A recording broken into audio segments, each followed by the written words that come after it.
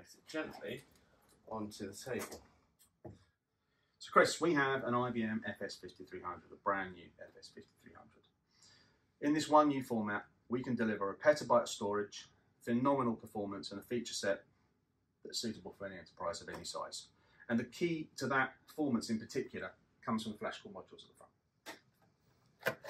As we pull one out, we can see how compact they are and yet so powerful. These ones are 9.6 terabytes, but you can get 4.8 terabytes, 19.2 and 38.4 terabyte modules, 12 in total in a 1U format. Why are these so special? Well, performance firstly, 28 gig a second and less than 50 microseconds latency, and the potential for end-to-end NVMe. Each module has onboard dedicated compression chips, which means zero latency and compression for up to 3 to 1 capacity on some datasets. By fitting one petabyte into one U of storage, we have to consider heat dissipation. IBM have addressed this by installing a row of fans just behind the flash modules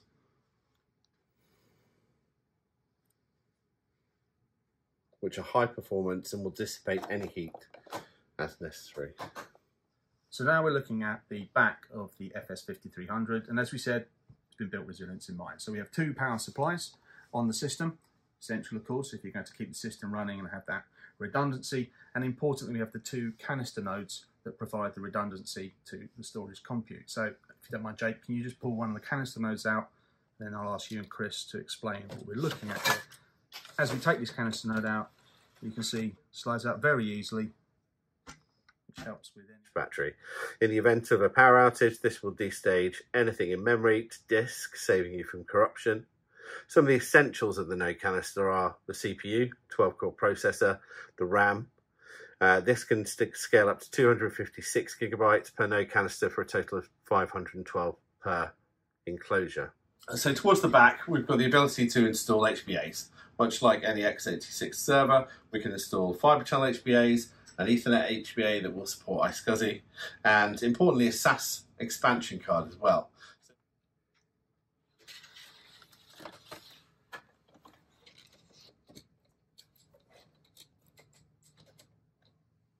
Whilst we've been talking about the IBM FS5300, this is the baby of the range. So its larger brother, the 7300 and 9500, deliver more performance and obviously more capacity.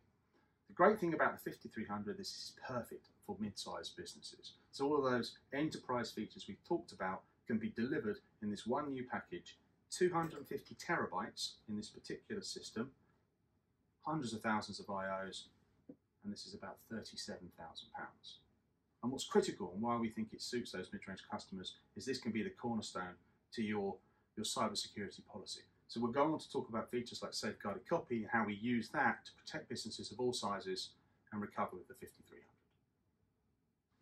So one of the reasons why we think the IBM FlashSystem range, this 5300, but the entire range, is perfect for businesses and enterprises of all sizes, is the ability to protect data and protect production data. And we do that through safeguarded copy. So that means we can keep copies of production data on the production systems and that aids the ability to recover at pace. So let's talk about safeguarded copy and first of all, how does it work? What is safeguarded copy? So safeguarded copy is the wrapper of immutability around a block level snapshots. Right. What you can do is then tie that in with a scheduler. So you can create these snapshots on a regular basis, um, granularly down to about an hour. Okay. So you could take a point in time hourly copy of your production data and you could keep that for days, weeks, you decide yep. the policy. So if a threat actor were to get into the system and start to scramble your data, was to install a virus, mm-hmm. then you have a recovery point that could be as granular as an hour. Yep. But I guess that's great because you can then say, well, I want to go back to 12 o'clock or go back to 10 o'clock. But you need to be able to do that at pace. So how, how quickly can you recover this? The key point there, the speed at which you can recover is absolutely insane. So within seconds, you can spin off a thin clone from your okay. production copy, from that safeguarded copy. You can mount that to your host, uh, be it Hyper-V, VMware, IBM yes, IBM yeah, Power. absolutely, the whole um, systems. And from there, you can recover those individual virtual machines. You can run it on that snapshot right. uh, until such time you, you are safe and comfortable with all of that data being retrieved. That's true. So it might only take seconds to mount it, but you do need to do all the checks to make sure it's ready to put back in production. Yeah. But that means that on your on your primary storage, you have copies of the data at intervals that you decide could be days that you keep those Mhm. for as well. Yep. And the recovery points are there, and you can bring them back in seconds. So if a threat actor gets in, you have that ability to recover your business, Absolutely. all in your production storage. Correct. So we hope we've intrigued you with this unboxing of the 5300. And we genuinely at Covenco think the IBM storage range has something for enterprises of all sizes. You've seen the resilience, you've seen the feature set, you've seen the security features and the ability to protect you against ransomware. But most importantly, this is hugely performant and we think the price will surprise you more than anything else. So if you want to talk to Covenco, by all means do. But last but not least, thank you for watching and thank you very much to my, my colleagues, my friends, Chris and Jake for the help in this video.